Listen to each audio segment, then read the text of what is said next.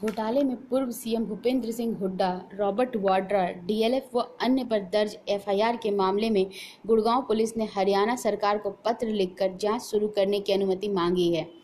पूर्व मुख्यमंत्री के खिलाफ भ्रष्टाचार की जाँच और करप्शन एक्ट की धारा 17 ए के तहत जाँच शुरू करने के लिए सरकार की अनुमति लेना ज़रूरी है। पुलिस अधिकारियों के मुताबिक बुधवार तक इस मामले में सरकार से जाँच शुरू करने की मंजूरी मिल सकती है। यह जाँच एसीपी या उससे ऊपर स्तर की किसी अधिकारी द्वारा ही की जा सकती है। चूँकि आरोप पूर्व सीएम पर है तो ऐसे में केस की जाँच सीनियर अफसरों की निगरानी में की जाएगी, जिसके चलते एसआईटी का गठन किया जाना है। फ़िलहाल खेड़की दौला थाना में यह एफआईआर शिकायतकर्ता सुरेंद्र शर्मा की लिखित शिकायत व पेश किए कुछ दस्तावेजों के आधार पर की गई है। लेकिन अब पुलिस मामले की जाँच शुरू कर सुरेंद्र शर्मा के लिखित बयान दर्ज करेगी कि उसके पास क्या सबूत और दस्तावेज़ है जिनसे यह घोटाला साबित होता है।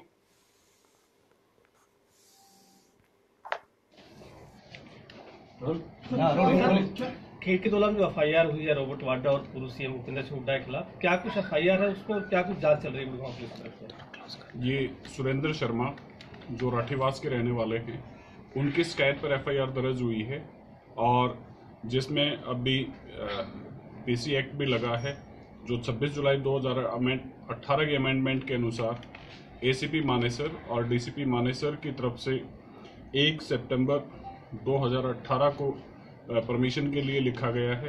परमिशन आने के बाद फर्दर इन्वेस्टिगेशन चालू होगी। सर शिकायतकर्ता ने क्या कुछ आरोप लगाए और किन किन धाराओं में ये पूरा मामला दर्ज हुआ है? ये एफआईआर जो है एफआईआर नंबर दो सौ अठासी एक नौ दो हज़ार अठारह को दर्ज हुई है जो चार सौ बीस अड़सठ अड़सठ इकहत्तर और पीसी एक्ट में दर्ज हुई है। सर इसमें ये बात भी सामने आ रही थी कि कोई दस्तावेज़ पेश नहीं की गई एफआईआर के वक्त में।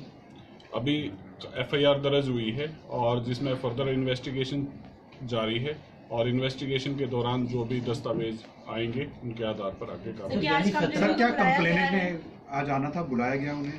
नहीं इस प्रकार की प्रशासन को या पुलिस को कोई खबर नहीं।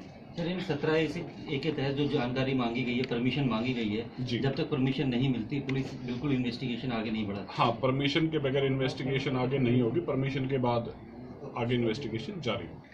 परमिशन मिलने में सर कितना टाइम लग जाता है? अभी लिखा गया है एक सितंबर 2018 को लिखा गया है। यानी आ, आ, शिकायत कर- कर्ता की तरफ़ से सिर्फ़ शिकायत दी गई है कोई दस्तावेज़ पेश नहीं की गई आज एफआईआर दर्ज हुई है शिकायत आई है और इन्वेस्टिगेशन जारी हुई है।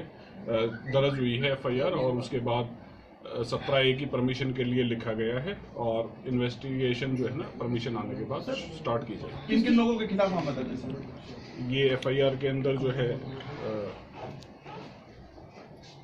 उसमें सारे के वो मेंशन है। ठीक है। ठीक है ठीक है। थैंक यू सर एक थैंक यू